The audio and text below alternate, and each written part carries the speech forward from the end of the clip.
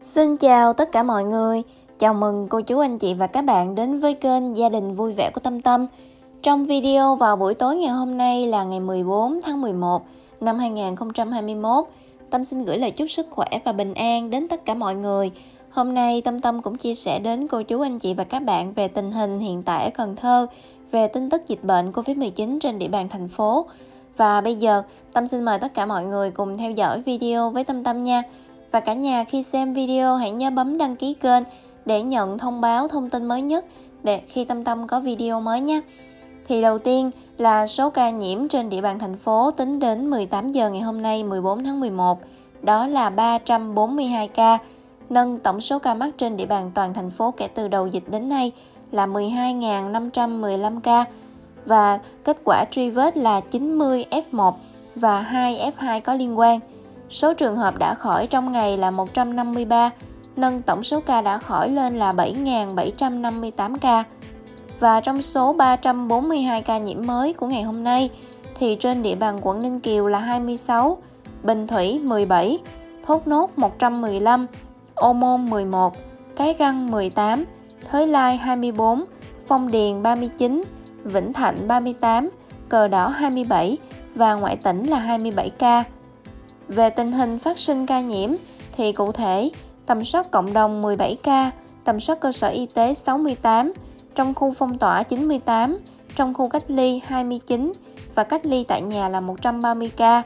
Số ca cộng đồng là gồm tầm soát cộng đồng, tầm soát cơ sở y tế và trong khu phong tỏa cộng lại. Kể từ đầu dịch cho đến nay thì trên địa bàn thành phố Cần Thơ ghi nhận hơn 12.000 ca nhiễm, Cụ thể thì trên địa bàn quận Ninh Kiều là 3.093, Bình Thủy 2.212, Thốt Nốt 2.148, Ô Môn 1.630, Cái Răng 1.059, Thới Lai 657, Phong Điền 436, Vĩnh Thạnh 299, Cờ Đỏ 273 và ngoại tỉnh là 708 ca.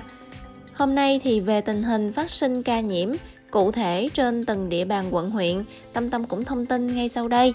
Đó là đầu tiên quận Ninh Kiều, tầm soát cộng đồng 7 ca, tầm soát cơ sở y tế 14, trong khu cách ly 5 ca. Cụ thể trên địa bàn các phường gồm Tân An, tầm soát cộng đồng 7 ca, tầm soát cơ sở y tế 1 ca. Cái Khế, tầm soát cơ sở y tế 1 ca trong khu cách ly 2 ca. An Hòa, tầm soát cơ sở y tế 1 ca trong khu cách ly 2 ca. An Bình 2 ca tầm soát cơ sở y tế, 1 ca trong khu cách ly. Thới Bình, An Phú, Hưng Lợi, An Khánh, mỗi phường 2 ca tầm soát cơ sở y tế. Xuân Khánh, 1 ca tầm soát cơ sở y tế. Tiếp theo là trên địa bàn quận Ô Môn. Ô Môn hôm nay ghi nhận tổng cộng là 11 ca tầm soát cơ sở y tế. Cụ thể là trên địa bàn các phường gồm Phước Thới 7 ca, Châu Văn Liêm, Thới Hòa, Thới Long, Thới An, mỗi nơi một ca tầm soát cơ sở y tế. Tiếp theo là địa bàn quận Bình Thủy. Bình Thủy gồm tầm soát cơ sở y tế 4 ca, trong khu cách ly 1 ca, cách ly tại nhà 12 ca. Cụ thể trên địa bàn gồm Long Tuyền 12 ca cách ly tại nhà, tầm soát cơ sở y tế 1 ca. Bình Thủy 1 ca tầm soát cơ sở y tế.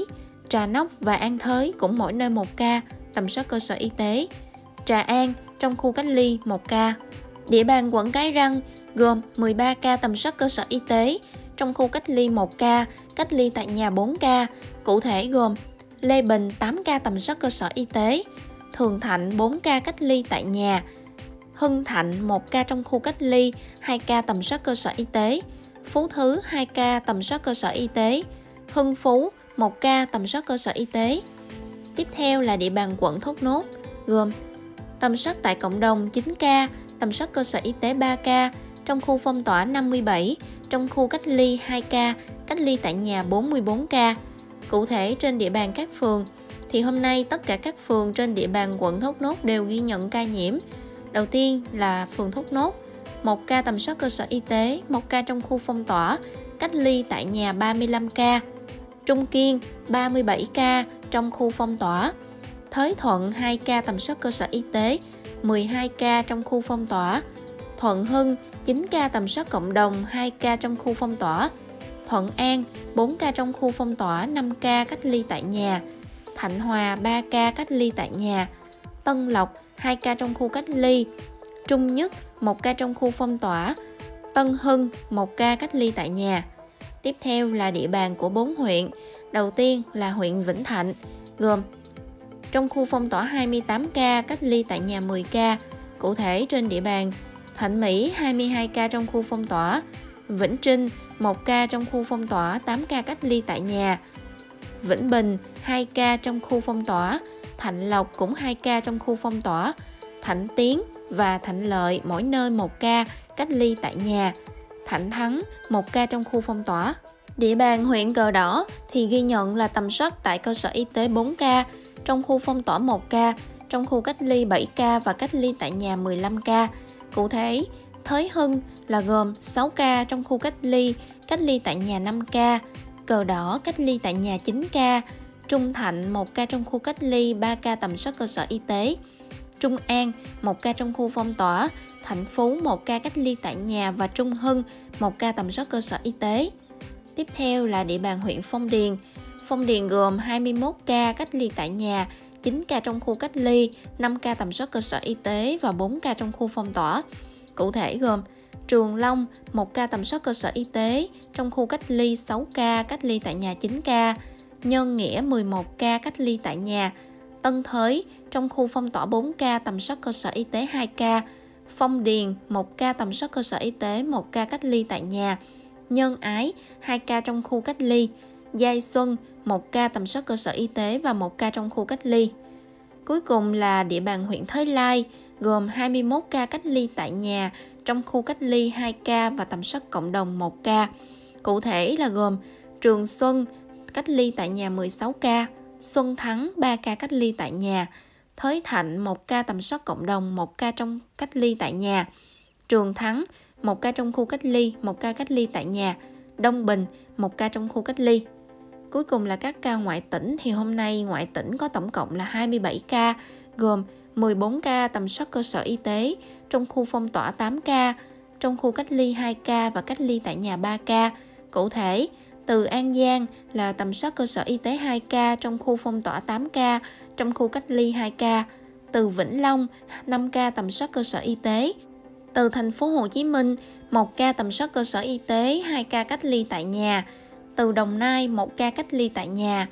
Từ Trà Vinh, Bạc Liêu, Hậu Giang, Kiên Giang, Sóc Trăng, Đồng Tháp, mỗi nơi một ca tầm soát cơ sở y tế.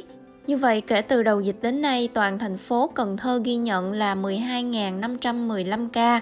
Trong đó thì số ca tầm soát tại cơ sở y tế là 1.109 ca, số ca tầm soát cộng đồng là 1.640, số ca trong khu cách ly là 4.361, ca cách ly tại nhà là 1.894 và số ca trong khu phong tỏa là 3.509 ca. Địa bàn quận Ninh Kiều vẫn là quận có số ca nhiễm cao nhất trên toàn thành phố Cần Thơ chính quận huyện, đó là 3.093 ca như lúc đầu video Tâm Tâm cũng đã thông tin. Trong vòng 14 ngày qua thì toàn thành phố Cần Thơ ghi nhận là 4.866 ca, còn trong 7 ngày qua là 2.797 ca. Và ừ, tại địa bàn quận Ninh Kiều thì trong 7 ngày qua ghi nhận là con số 504 ca nhiễm tăng thêm. Bình Thủy 297 và quận Thốt Nốt là quận có số ca nhiễm tăng thêm cao nhất trong 7 ngày qua là 730 ca. Quận Ô Môn là 476 ca, Cái Răng 192, Thới Lai 104, Phong Điền 131, Vĩnh Thạnh 125, Cờ Đỏ 108 và ngoại tỉnh là 130 ca. Về xếp loại vùng nguy cơ thì à, vẫn là 4 quận đó là Ninh Kiều, Bình Thủy, Thốt Nốt, Ô Môn là cấp 3, còn Cái Răng, Thới Lai, Phong Điền, Vĩnh Thạnh, Cờ Đỏ là cấp 2. Thì cả nhà cũng có thể truy cập vào trang web là covid. cần thơ.gov.vn để xem cụ thể địa bàn xã, phường, à, thị trấn nơi mà mình đang ở là có màu gì, à, xanh, cam, vàng hay đỏ nha. Hôm nay thì như Tâm Tâm đã thông tin thì số trường hợp đã khỏi là 153. Bên cạnh đó thì số trường hợp tử vong trong ngày là 2 ca, nâng tổng số ca tử vong trên địa bàn thành phố từ đầu dịch đến nay là 129 ca. Về công tác điều trị thì à, tổng số bệnh nhân đang điều trị hiện nay là 2.924, Trong đó, tầng 1 là 1977, tầng 2 855, tầng 3 là 92. Trong số các bệnh nhân nặng nguy kịch đang điều trị có 50 bệnh nhân thở oxy qua mặt nạ, 13 bệnh nhân thở HFNC, 10 bệnh nhân thở máy không xâm lấn và 13 bệnh nhân thở máy xâm lấn. Trên đây là báo cáo nhanh về tình hình dịch bệnh COVID-19 trên địa bàn thành phố Cần Thơ tính đến 18 giờ ngày hôm nay 14 tháng 11 năm 2021. Và bây giờ, Tâm xin tạm dừng video của mình ở đây. Xin chào tạm biệt và hẹn gặp lại cô chú anh chị và các bạn ở video vào ngày mai. Bye bye!